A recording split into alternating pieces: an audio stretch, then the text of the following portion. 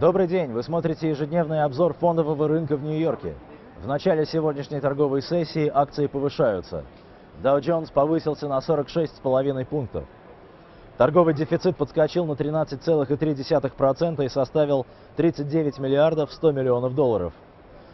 Дефицит торгового баланса на 10% ниже, чем год назад, преимущественно благодаря экспорту бензина, побившего рекорд в июле, составив 12,5 миллиардов долларов. Это возможно благодаря технологии гидравлического разрыва пластов или фрекингу. Владимир Путин заявил, что не исключает поддержки США в военных действиях в Сирии, если причины на то будут доказаны.